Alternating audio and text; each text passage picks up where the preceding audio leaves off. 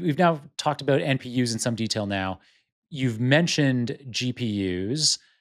What is the key difference between a GPU and an NPU? It sounds like today a lot of people would be using a GPU for all the workloads that you've been describing. We should actually be using an NPU for. GPUs integrated and discrete, right, Shirish? Yeah. So, you know, I'd say that GPUs are far more versatile today, right? Because they're ultimately the best at parallel processing. And so, by definition, they're very performant at AI and ML workloads, right? And we all know that because um, that's before the advent of the NPUs. That's what that is the accelerator of primary value when it came to AI and ML.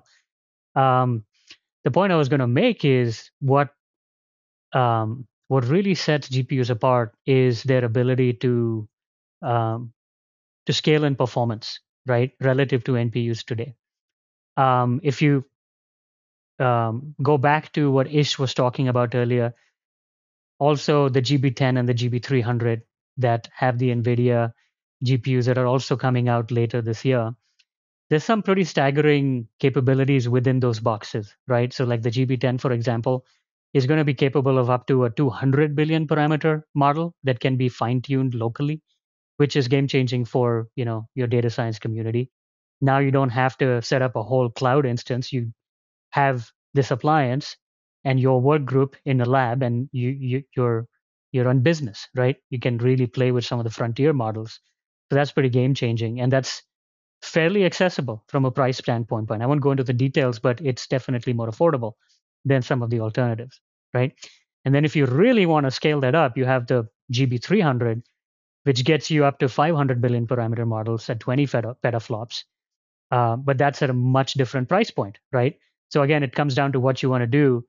Um, but GPUs today have far more scale in terms of performance than NPUs. NPUs are still evolving. I think we're talking about first couple of generations. So as Ish said, they're going to get better. Um, and and the differentiator for NPUs is performance per watt. GPUs are not that, you know, um, conscious when it comes to power consumption. Let me say. And that's a really nuanced difference, right? for GPUs right now, and we're talking about client devices here, right? Like we're the, there is a whole aspect to Dell that is in the server land. It lives up in the cloud, on-prem, hyperscale, whatever you want to do. But on client devices, the highest ceiling right now, GPU.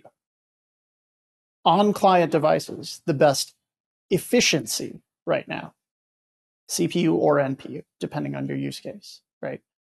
Speed also depends.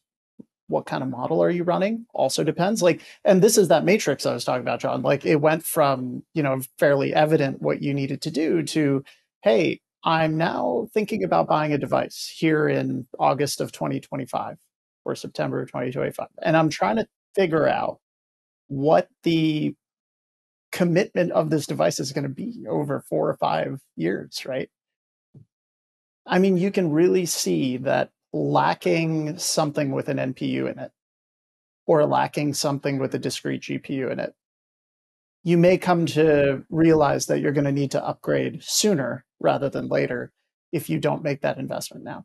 And, you know, Shirish and I not part of sales. So like you buy one laptop, you buy a million doesn't really impact us, but that's the truth. And that's what I'd think about if I were if I were making a purchase right now.